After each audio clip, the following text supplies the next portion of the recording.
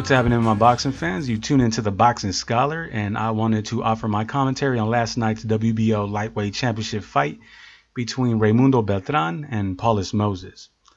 Now, the quality of this video and audio is not going to be as good as past videos. My equipment has been downgraded, but that's not going to stop me. I'm still going to talk boxing. I'm still going to continue to do what I do and do what I enjoy. And that's talking boxing with my fellow boxing enthusiasts.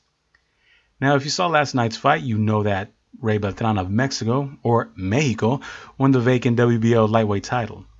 But the stakes were much higher than just winning a title belt last night. Beltran wasn't just fighting for a belt, but he was fighting for the right to stay and live in the United States. He was fighting for the uh, for an EB1 green card that would allow him to be a permanent resident of the United States under the status of extraordinary athlete, as granted by the Department of Homeland Security. That green card would allow him to be with his family who live here in the US. Beltran likely secured that green card by winning the WBO title against rugged veteran Paulus Moses. It was a good, rough and rugged fight.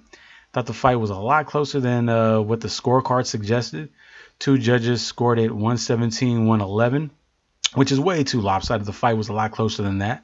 The other judge scored it 116 112, which is still a bit too wide of a score, but much more reasonable. Thought the fight was really, really close. I thought Beltran just barely eked it out. Uh, Beltran was hit with a lot of clean shots. He was even stunned by a hard right hand, but he recovered, came back, and ultimately won the fight. Beltran's face showed signs of being in a rough fight. His face was cut up, swollen. The man literally shed blood, sweat, and later on shed tears during the post fight interview because he was understandably emotional. I mean, the man really did shed blood, sweat, and tears. The 36-year-old Beltran, who was who has been a pro for 18 years, fulfilled many of his dreams last night. And one of those dreams that he fulfilled is the American dream. And that's what most immigrants want when they come to the United States. They want a better life. They want to provide for their families. And they want to work hard in search for that American dream. And lately in this political landscape, that dream has become a nightmare. So big congrats to Raymundo Sugar Ray Beltran, who has encountered many ups and downs in his professional career and in life. He finally became a world champ. You won yourself a red belt and a green card.